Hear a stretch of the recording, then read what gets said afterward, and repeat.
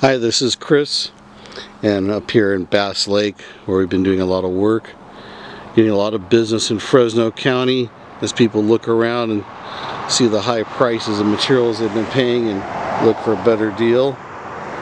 That aside, there's of course extraordinary great masonry work that's been done up here.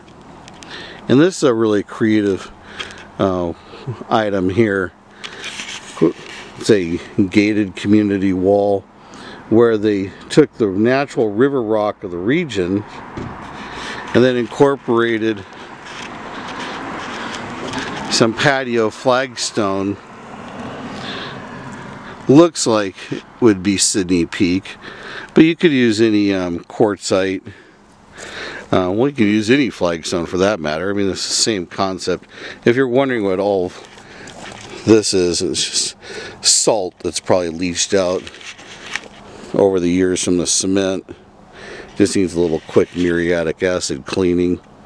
But they mimicked what would be oftentimes found if you were to cut away a hillside on a riverbank which is river rock and then a sedimentary layer of other material on top of it and it's really very creative and adds a lot of character to this block wall.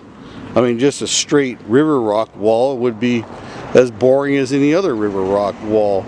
But the artistry that's gone in here makes this a signature piece and adds a lot of value to it. And look, right here, they even went for what would be a fold in the earth or a deposit of a mass of materials.